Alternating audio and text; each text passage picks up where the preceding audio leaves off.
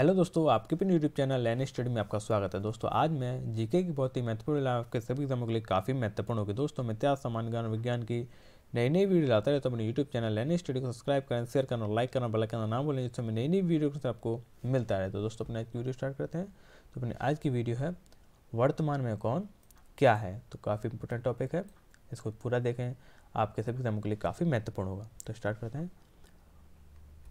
वर्तमान में भारत के राष्ट्रपति कौन है? तो वह है रामनाथ कोविंद। ये भारत के चौदहवें राष्ट्रपति हैं। वह राष्ट्रवाद संस्था बिहार के राज्यपाल रह चुके हैं। 25 जुलाई 2017 को उन्होंने राष्ट्रपति पद की शपथ ली थी। अगला है। वर्तमान में भारत के उपराष्ट्रपति कौन है? तो वह है वेंकैया नायडू। ये भारत के तेरहवें उपराष्ट्रपति हैं। भारत के प्रथम उपराष्ट्रपति डॉक्टर सर्वपल्ली राधाकृष्णन थे। तो देखिए, कौन थे? सर्वपल्ली राधा कृष्णन ये दूसरा पॉइंट है। ये एक पुस्तक है जिसको वेंकैया जी ने लिखा है। Listening learning and leading listening learning and leading नाम से पुस्तक है। वर्तमान में भारत के प्रधानमंत्री कौन है?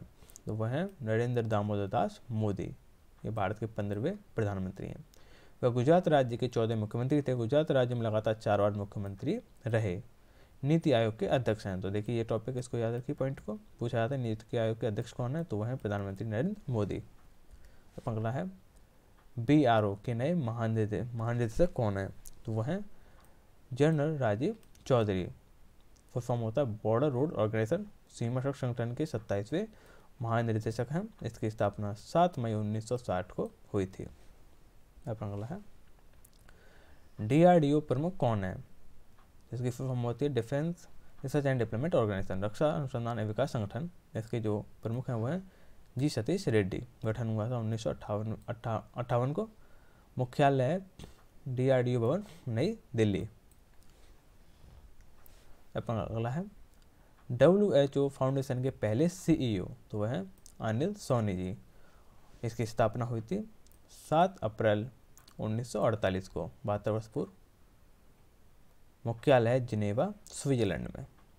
अपना अगला एसोचम के नए अध्यक्ष तो वो हैं विनीत अग्रवाल। इसकी स्थापना 1920 में हुई थी। इस समय भारत की एक लाख से अधिक कंपनियाँ इसकी सदस्य हैं। अब अगला है। सिल की नई अध्यक्ष, स्टील अथॉरिटी ऑफ़ इंडिया। इसकी जो नई अध्यक्ष बनाई गई है, सोमा मंडल। वह पद संभालने वाली पहली महिला हैं। स्थापना उन्नीस को हुई थी। मुख्यालय है भारत में। अपना अगला है। सीबीडीटी के अध्यक्ष कौन है? Central board of direct tax केंद्रीय प्रत्यक्ष कर बोर्ड के नए जो अध्यक्ष हैं वह हैं प्रमोद चंद्र मोदी, भारतीय राजस्व सेवा आई के उन्नीस सौ बयासी कैडर के अधिकारी हैं। स्थापना उन्नीस सौ चवालीस में। अपना अगला है। Hockey India team hockey India के नए अध्यक्ष। ज्ञानेंदो निगोवम को बनाया गया है। स्थापना हुई थी 20 मई 2009 को। मुख्यालय नई दिल्ली में। अपना अगला है। कोटक महिंद्रा बैंक के एमडी तो वह है उदय कोटक।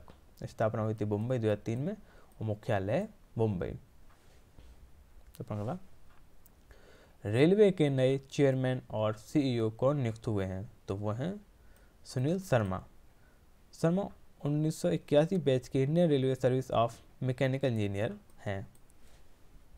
अगला भारतीय बैंक संघ के अध्यक्ष तो वो बनाए गए हैं।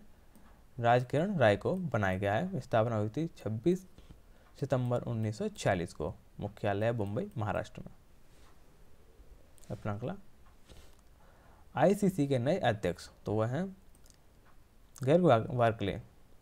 गर्ग वार्कले को बनाया गया है न्यूजीलैंड के, स्थापना हुई थी 15 जून 1909 को। मुख्यालय है दुबई में, संयुक्त अमीरात और सदस्य हैं, वो 104 सदस्य राष्ट्र हैं इसके। अपना अगला है सी के नए अध्यक्ष कौन है? तो ये हैं अजय त्यागी, फुल फॉर्म है security and exchange board of India.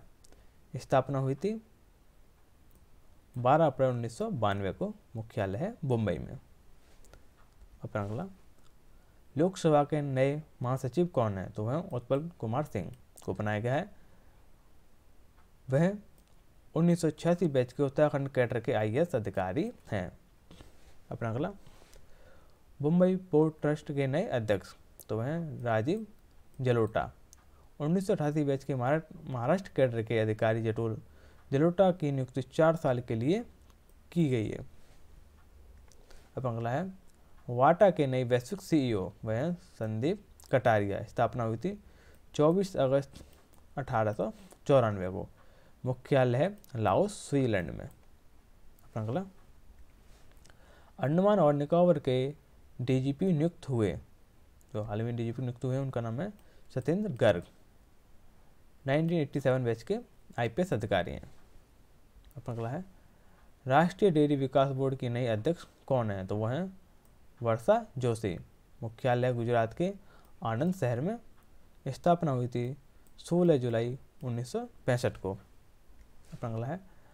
All India check foundation के नए अध्यक्ष कौन है? तो वह है संजय कपूर। कौन है? संजय कपूर अगला है। फिट इंडिया मूवमेंट के नए एम्बेसडर कौन है? तो वह कुलदीप आड़ू। अगला है। लेबनान के नए प्रधानमंत्री कौन है? तो वह मुस्तफ़ा अदीबा मुस्तफ़ा आदिब। मुस्तफ़ा आदिब बनाए गए हैं। राजधानी है वैरूथ और जो मुद्रा चलती है, यहाँ पर बोलते हैं लेबनानी पाउंड। अब अगला है वर्तमान में भारत के रक्षा मंत्री कौन है? तो वह राजनाथ राजनाथ सिंह। भारत के पूर्व गृह मंत्री रह चुके हैं। सन 2000 में भारत के मुख्यमंत्री भी रहे थे। अगला है वर्तमान में भारत के गृह मंत्री कौन है? तो वह अमित शाह जी। वह भारतीय जनता पार्टी के अध्यक्ष भी रह चुके हैं। भारत के गुजरात राज्य के गृह मंत्री तथा भारतीय जनता पार्टी के महासचिव भी रह चुके हैं। अगला है। वर्तमान में भारत के विदेश मंत्री कौन है? तो वह है एस जयशंकर। वह जनवरी 2015 से जनवरी 2018 तक भारत सरकार के विदेश सचिव थे। अब अगला है, वित्त मंत्री और कारपोरेट मामलों के मंत्री कौन है? तो वह निर्मला सीता रमण सितंबर 2017 से मई 2019 तक रक्षा मंत्री भी रही थी। निर्मला सीतारमण, भारत की पहली पूर्णकालिक महिला विदेश मंत्री हैं। अगला है। सड़क परिवहन और राजमार्ग मंत्री और सूक्ष्म लघु और मध्यम उद्यम मंत्री कौन है? तो वह हैं नितिन गडकरी। उन्नीस में महाराष्ट्र में शिवसेना भारतीय जनता पार्टी की गठबंधन सरकार में लोक निर्माण मंत्री बनाए गए और चार वर्ष तक मंत्री पद पर रहे। अगला है। रसायन व उर्वरक मंत्री कौन है? तो वह डी वी सदानंद गौड़ा। अगला है। उपभोक्ता मामलों खाद्य और सार्वजनिक वितरण मंत्री कौन है? तो वह पीयूष गोयल जी। अपना अगला है। कृषि और किसान कल्याण मंत्री, ग्रामीण विकास मंत्री तथा पंचायती राज मंत्री कौन है? तो वह नरेंद्र सिंह तोमर। अपना अगला है। खाद्य प्रसंस्करण मंत्री खाद्य प्रसंस्करण उद्योग मंत्री कौन है? तो वह हरसिमरत कौर बादल। अपना अगला है। सामाजिक न्याय और अधिकारिता मंत्री कौन है? तो वह थापर चंद गहलोत। अपना अगला है, मानव संसाधन विकास मंत्री हैं। तो वह रमेश पोखरियाल। अपना अगला जनजातीय मामलों के मंत्री कौन है? तो वह अर्जुन मुंडा।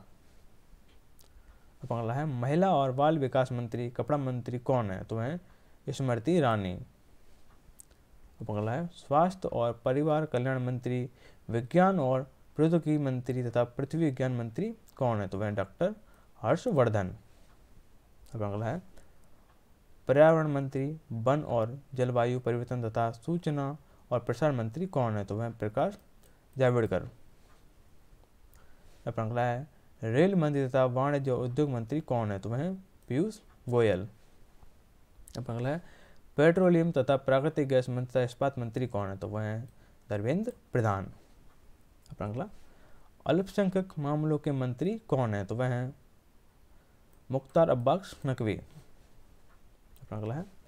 जल शक्ति के मंत्री हैं गजेंद्र सिंह शेखावत। अगला।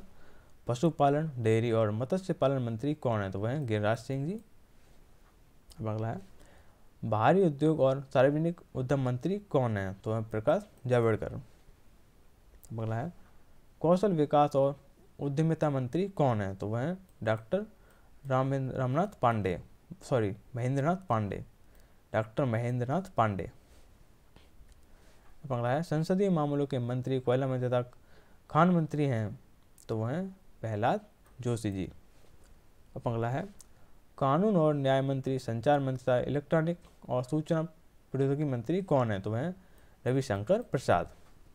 अपना अगला। सामाजिक न्याय और अधिकारिता मंत्री कौन है? तो वह थापरचंद गहलोत। तो दोस्तों, वीडियो कैसी लगी? कमेंट करें, अपने यूट्यूब चैनल लेनी स्टडी सब्सक्राइब करें शेयर करें और लाइक करें।